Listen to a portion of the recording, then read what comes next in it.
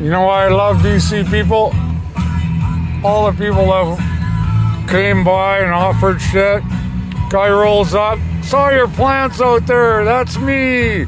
Blah, blah, blah. Gave me some pre rolls and two fucking strip loin steaks. Hey, everybody helping out. As soon as I get my shit, I'm taking the boat across the other side of the lake to help out some friends over there that are getting fucked around by our government. Hey guys, I know you guys are stressed too. Okay, cheers and beers, you freaking queers.